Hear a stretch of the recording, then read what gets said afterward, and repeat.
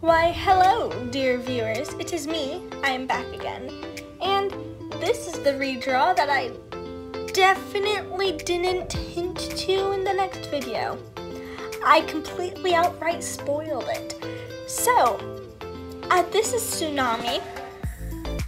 You know Tsunami.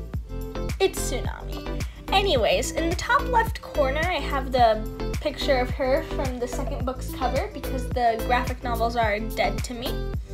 Just like I said last time. Anyways, and then above that, you probably saw this in my last one, it's just the picture from the books for the tribes. And I did divert from that a lot, but I'm still a developing artist. I can do that. Anyways. Anyways this is the sketch portion of it.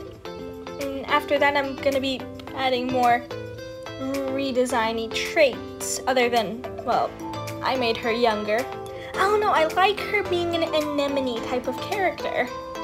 And then, well, I added more jewelry because this is the sixth book, so she has been shown to be royalty, and I just added a little narwhal horn, which I, I don't know what the crown looks like in the books, and I don't really care to go digging for it. And since this is a redesign, just to count that part of the redesign, please do so.